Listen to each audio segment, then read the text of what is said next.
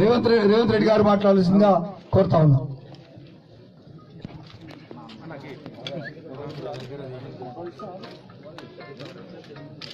ఇది చాలా దుర్దినం. ఎందుకంటే నిజంగా తెలంగాణ రాష్ట్రంలో కేటీఆర్ నియోజకవర్గంలో పేదలు దళితులు గిరిజనులు బలైన వర్గాల ఆడబిడ్డలు తాలిపుస్తలు దిగి చెట్టంత మనిషి శవమై సమాధులకు వెళ్ళి శ్మశానాలలో కట్టే కాలుతుంటే వాళ్ళ బాధని రాష్ట్ర ప్రభుత్వం పట్టించుకోలేదంటే ఈ రాష్ట్ర ప్రభుత్వానికి ఇక్కడ ఎన్నికైన శాసనసభ్యుడికి మంత్రి అయిన కేటీఆర్కు మనసు లేదన్న సంగతి తెలంగాణ సమాజం అంతా గమనించవలసిన అవసరం ఉన్నది. ఇవాళ ప్రధానంగా ప్రభుత్వం ఈ ప్రాంతంలో ఇసుక క్వారీ కాంట్రాక్టులు చంద్రశేఖరరావు గారు ఆయన బంధువులకే ఇచ్చిండ్రు. అందులో ఒక ఆయన పేరు రాజేందర్ రావు రెండో ఆయన పేరు ప్రవీణ్ రావు మూడో ఆయన పేరు నడిపల్లి రంగారావు నాలుగో ఆయన పేరు సంతోష్ రావు. సంతోష్ రావు ఎవరంటే ఆయన సడ్డకుడు రవీందర్ రావు కొడుకు. ఈ పక్కల్లే కుదురుపాకను ఏదో ఊరు నాకు తెలిసినంత వరకు నర్సింగ్ అనే చెప్పాలి. కుదురుపాక గ్రామంలో ఉండే సంతోషరావు నిత్యం కేసీఆర్కు నీడలాగా వెన్నంటి ఉండే సంతోషరావు ఆయన కూడా కొన్ని వందల కోట్లు సంపాదించుకోవాలని కోరిక కలిగింది. ఎందుకంటే వాళ్ళ అన్న కేటీఆర్ వాళ్ళ బావ హరీష్ రావు వాళ్ళ అక్క కవితమ్మ వేల కోట్ల రూపాయలు సంపాదించుకుంటుంటే మరి నేను వీళ్ళ కాడనే పనిచేస్తున్నా కదా కనీసం నాకు వందల కోట్లన్న సంపాదించుకోకపోతే ఎట్లా అని అడిగితే ఈ కాంట్రాక్టులో వీళ్ళ కుటుంబ సభ్యులకే చంద్రశేఖరరావు గారు ఇవ్వడం జరిగింది. ఇవాళ నేను అడుగుతున్న ఈ రాష్ట్ర ముఖ్యమంత్రిని నిన్న ఎంపీ బాలిక సుమన్ అడుగుతున్నాడు ఆధారాలు ఉంటే నువ్వు బయట పెట్టు అనవసరమైన ఆరోపణలు చేయొద్దు నువ్వు ఆ కుటుంబంలో ఎవరిని వదిలినవని.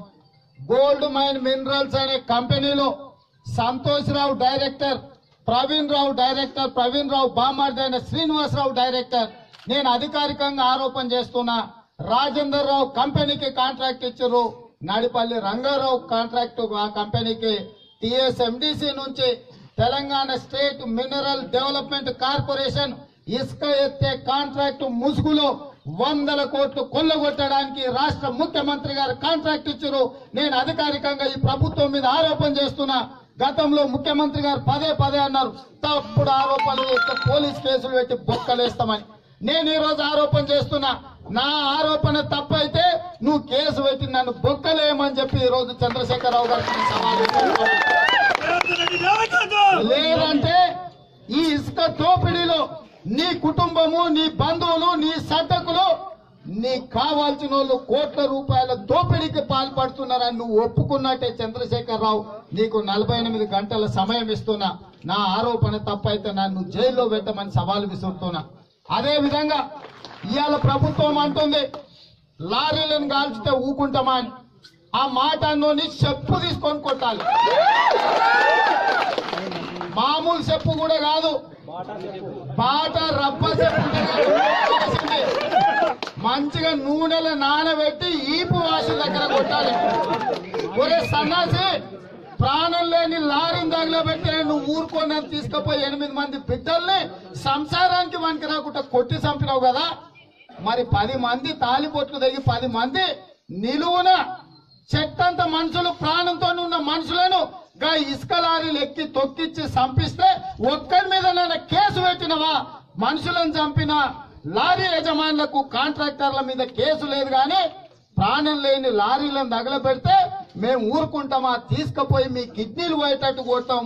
మీ మొత్తం ప్రాణాలు పోయేటట్టు కొడతామని ప్రభుత్వం అనడం ధర్మమా? ఒక్కసారి ఆలోచన చేయండి అని నేను అడుగుతున్నా ఈరోజు. నిజంగా ఈరోజు ప్రాణం లేని లారీలకున్న విలువ నువ్వు ఇసుక రవాణా చేసుకునే లారీలకున్న విలువ ఇవాళ ఈ ఆడబిడ్డల మొగుళ్ళ ప్రాణాలకు లేదా అని నేను అడుగుతున్నా.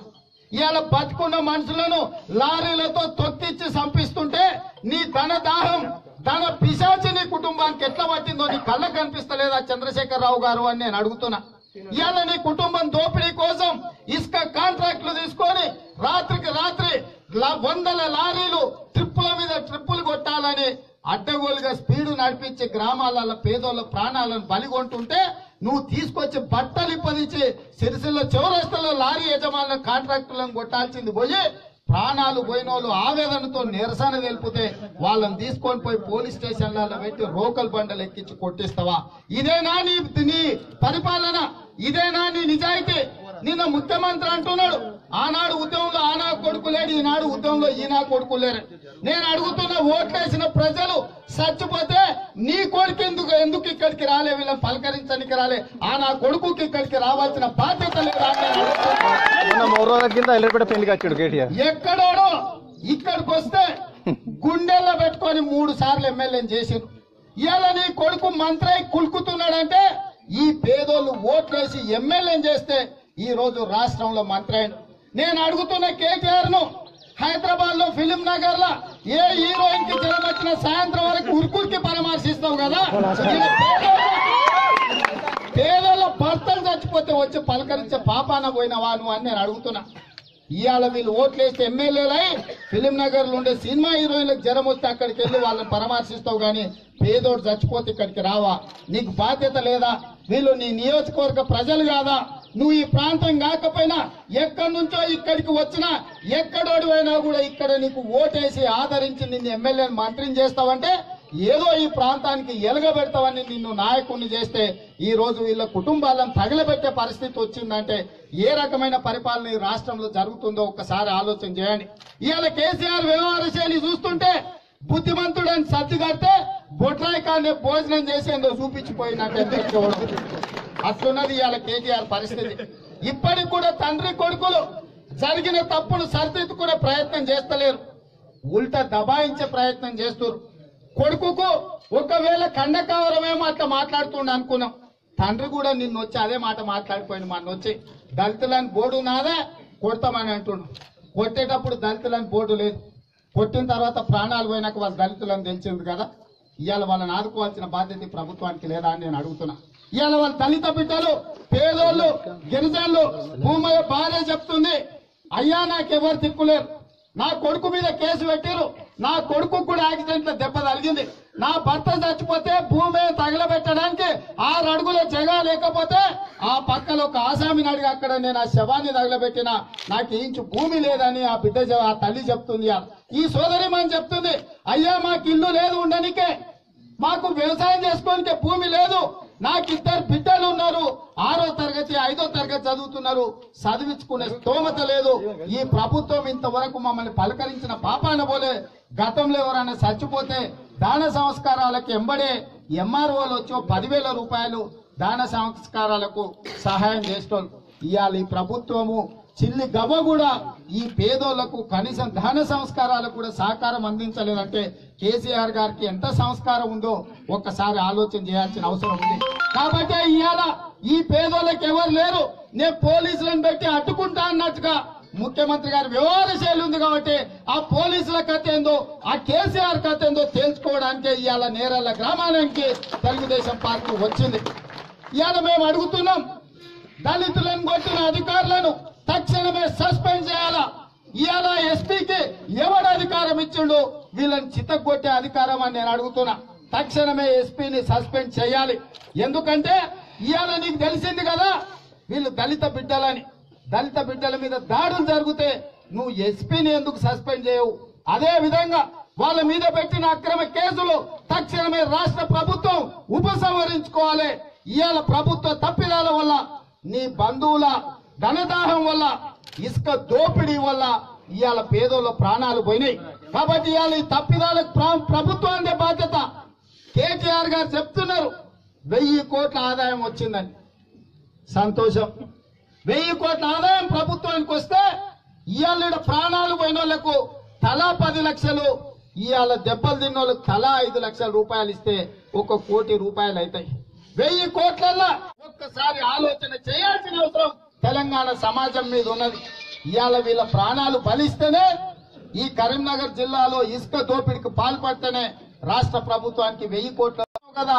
పేదోళ్ళ కోసం ఒక కోటి రూపాయలు గట్ట ఈ రోజు ఆదుకోవడానికి ఎందుకు ఖర్చు పెట్టలేవని మేము రాష్ట్ర ప్రభుత్వాన్ని అడుగుతున్నాం. కాబట్టి ఇవాళ ఈ పేదల తరపున వాళ్ళు మాకెవరు లేరని మమ్మల్ని ఎవరు పట్టించుకోరని వాళ్ళ ఆందోళన చెందాల్సిన అవసరం లేదు. ఈ గిరిజన దళిత ఈ పేద బిడ్డల కోసం తెలుగుదేశం పార్టీ అండగా ఉంటుంది. ఖచ్చితంగా ఈ ప్రభుత్వం మీద పోరాటం చేస్తాం. ఇవాళ ఈ గ్రామాలను సందర్శించి ఇక్కడ ప్రజల అభిప్రాయాలు తీసుకొని ఈ ప్రభుత్వాన్ని నిలదీయడానికే తెలుగుదేశం పార్టీ వచ్చింది. పంద్రా ఆగస్టు లోపల కేటీఆర్ గ్రామాలకు వచ్చి పేదోళ్ళని చనిపోయిన వాళ్ళని పరామర్శించాలా? ఆ వాళ్ళ మీద ఏవైతే అక్రమ కేసులు పెట్టినో అవి ఉపసంహరించుకోవాలా? పది లక్షల రూపాయలు చనిపోయిన కుటుంబాలకు ఎక్స్ప్రెస్ ఇవ్వాలా ఇవాళ. దెబ్బలు తిని నడవలేని పరిస్థితులు ఉన్న ప్రతి కుటుంబానికి ఐదు లక్షల రూపాయల నష్టపరిహారం ఇవ్వాలా వైద్యానికి కార్పొరేట్ ఆసుపత్రులలో ప్రభుత్వమే వైద్యం అందించి వైద్య సహకారాలు అందించాలి. గతంలో ఈ తల్లి ఖర్చు పెట్టుకున్న పది లక్షల రూపాయలు కూడా ప్రభుత్వం తిరిగి చెల్లించాలి. వీటన్నిటిని ప్రభుత్వం చేయకపోతే పంద్రా ఆగస్టు తర్వాత మళ్ళీ తీరే నేరెళ్ళ ముట్టడి పెడతాం. కేసీఆర్ సంగతి తేలుస్తాం. కేటీఆర్ సంగతి తేలుస్తాం. ఏ రకంగా సిరిసిల్ల నియోజకవర్గంలో కేటీఆర్ తిరుగుతాడో మేము కూడా చూస్తాం. ఎందుకంటే ఇలా వాళ్ళు అనుకుంటున్నారు పోలీసుల రక్షణ ఉంటే మమ్మల్ని ఎవరు ఏం చేయలేరని. కానీ ఆ పోలీసులు ఉన్నప్పుడే ఈ పేదోళ్ళని ఆ లారీలను తగలబెట్టిండ్రు. అంత పెద్ద లారీలను తగలబెట్టిన పేదోళ్ళకు పెద్ద లెక్క కాదు. నువ్వో నీ కుటుంబమో దొరికితే ఏం చేయాలో గదే చేస్తారు. కాబట్టి మీరు జాగ్రత్తగా ఆలోచన చేయండి. పాలకులు మీరు పేద ప్రజల పాలన కోసం ఉన్నారు.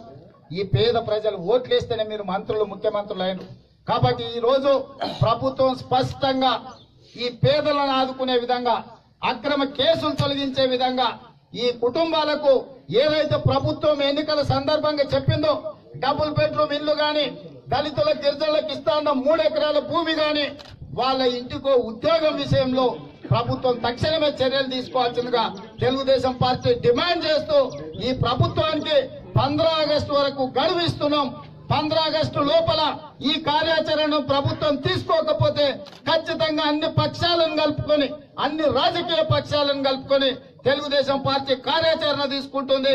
ఈ ప్రభుత్వం మీద పోరాటం చేస్తుంది. ఈ ప్రభుత్వాన్ని వదిలే సమస్యనే లేదు.